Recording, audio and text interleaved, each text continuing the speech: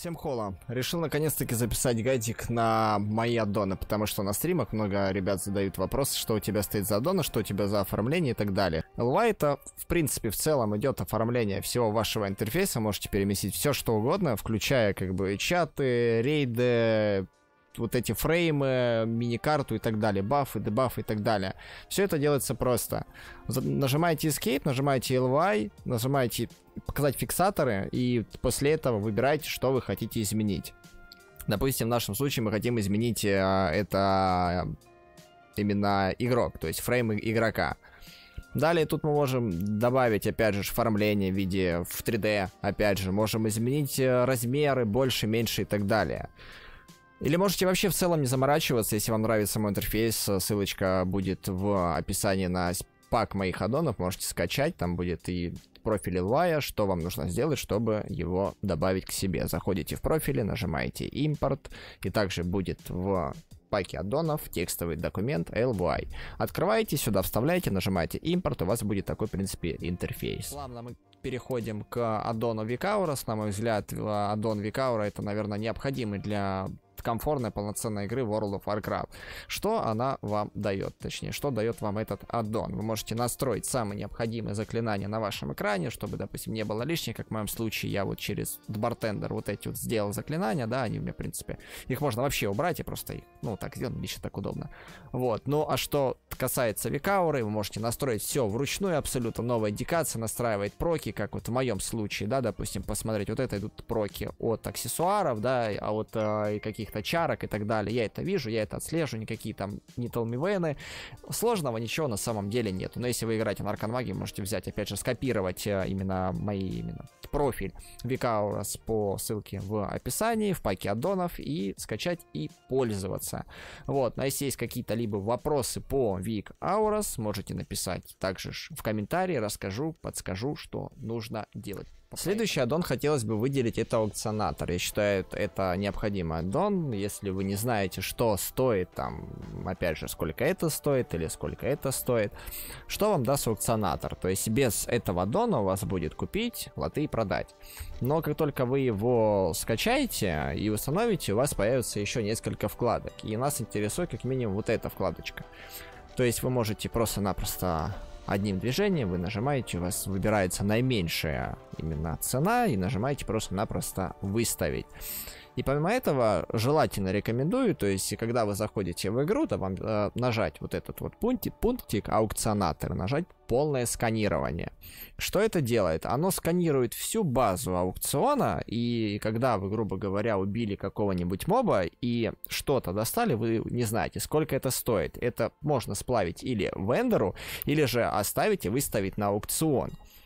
Следующим аддоном хотелось бы, конечно, выделить DBM. Что он вам делает? То есть вы идете, допустим, в какие-то в подземелья или рейды и так далее. Вы не знаете, что нужно делать. И вот такой как бы помощник, как ДБМ, вам расскажет и подскажет, что вам нужно сделать. Есть много, опять же, всяких подсказочек, то что вот такие вот индикаторы предупреждения имеются, то что вам как бы подскажут, что нужно сделать, отойти, или же наоборот зайти в ту или иную метку. То есть у вас можете вручную это все взять и перетащить, также включает в себя радар а, в определенных как бы подземельях, это будет очень удобно, когда нужно набрать определенную дистанцию, чтобы вы не получали урон или же что-то иное. Вы это все будете можете видеть, можете это все ввести вручную, допустим, вам нужно range, там, не знаю, там 15, вы вводите просто слэш, нажимаете range и вбиваете цифру 15, у вас будет теперь отображаться вот такая вот. После этого можете вбить там хоть 10 и так далее, но и помимо этого можете переставить эти все иконки куда вам удобно. Хотите вот сюда переставьте, хотите вот сюда вы переставьте. Также есть здесь голосовые именно события, да, вам могут оповещать, опять же, при вступлении в бой, или вам нужно отойти с того или иного места, допустим, вот как можем посмотреть. Вот. там говорят тираны? ГГ? Вот такие вот заб забавные имена есть звуковые, можете тут их выбрать несколько. В паке моих аддонов это все имеется. Это уже включено именно в, в пак. Это, так сказать, библиотечки. Следующий аддон это у нас Atlas Loot. Кто называет Atlas, называет Atlas Loot. В принципе, это без разницы. Он также есть в списке моих аддонов. То есть, что он у вас как бы берет, показывает. То есть, вы можете э, посмотреть, где это находится. То есть, опять же, вы, допустим, видите то, что собирают кару. Просто народе это Каражан.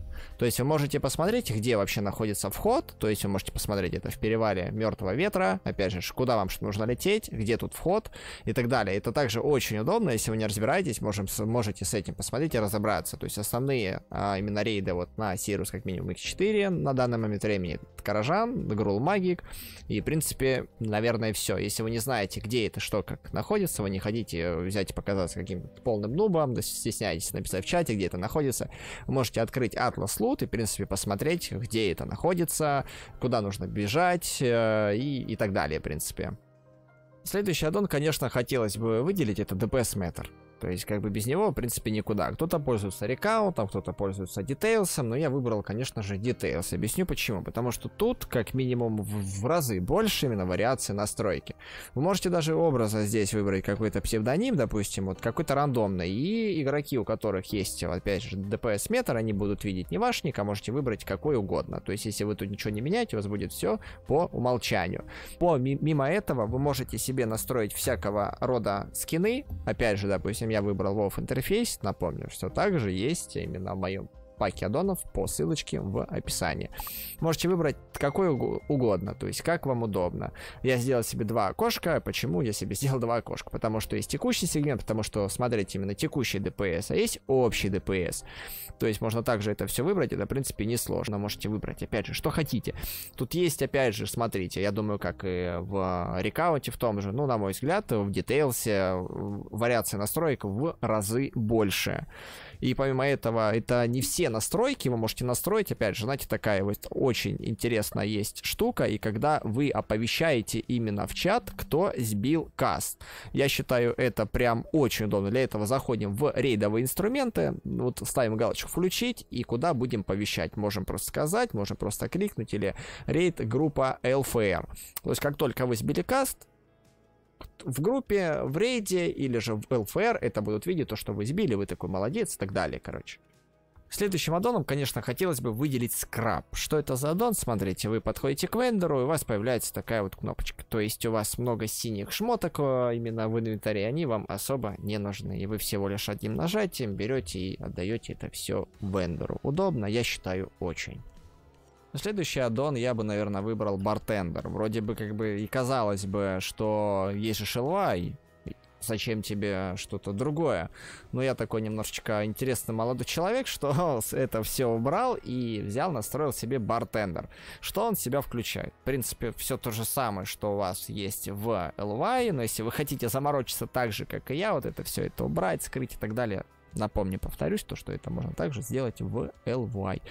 Вот, но настройки кнопок также, я считаю, удобнее, потому что вы, когда настраиваете кнопочки, да, допустим, именно свои заклинания, вот эти вот магические, вот тут появляется после установки аддона, появляется бартендер, и тут отображается панель первая, и панель вторая, третья, четвертая и так далее. И вы видите, вам будет это легко настроить, в LY немножко с этим посложнее, на мой взгляд, поэтому я отключил именно от LY, а именно вот эти вот а, панели заклинаний установил себе бартендер. Вот, все так же настраивается, все удобно, все быстро, все это отображается на мини-карте, вы это все, в принципе, видите.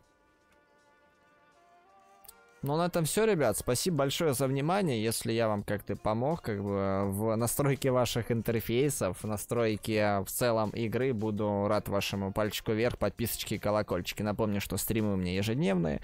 Каждый день буду рад вас видеть на трансляции. Если есть какие-то вопросы, заходите, задавайте. С большим удовольствием отвечу на все ваши вопросы. Ну а с вами был Артур. Всем добра, хорошего настроения, позитива. Всем пока.